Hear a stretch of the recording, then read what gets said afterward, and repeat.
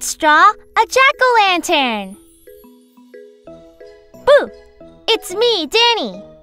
And I'm a vampire. Since it's Halloween, let's draw a jack-o'-lantern. Ooh.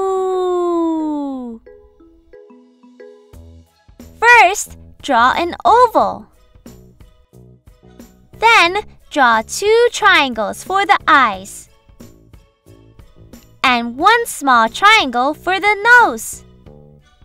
Then, draw its spooky mouth.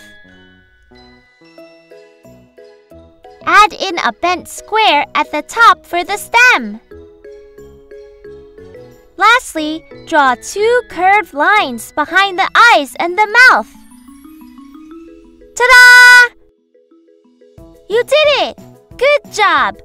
Let's draw again next time. Bye!